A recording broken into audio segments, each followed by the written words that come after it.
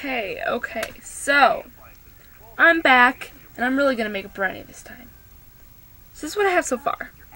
Um, I still can't find my scraper, which kind of sucks. Um, where to go? So, oh, I found it. It's on my butt. Okay, I got it. I got it, guys. Found it. It was under my butt. Okay. So, if you want to make this... So, this is my scraper that I'm to be using. And you guys still can't see it, but who cares? You know what? Close enough. You guys still love me, right? You guys of still can see it.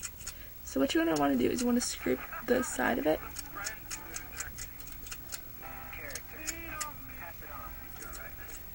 My friend gave me the idea of making a brownie. Her name is Katie. So I goes to her.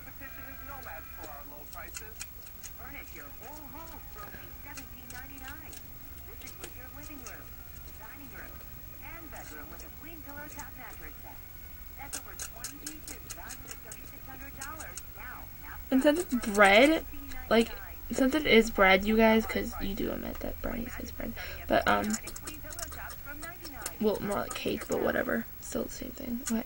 So since it's like that, you basically want to, like, scrape it down to give that, that bread effect, give it, like, crumbs, basically.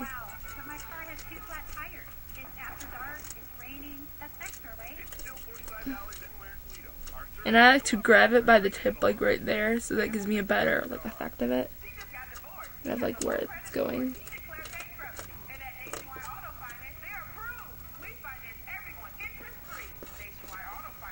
Basically, this looks nothing like a freaking brownie, but who cares? It could be like a piece of cake or something. I swear this looks nothing like a brownie. Okay, so, oh well, who cares? It can be a lemon square. Just kidding. That makes no like no sense, but who cares? Okay. I swear to God, this looks nothing like a brownie.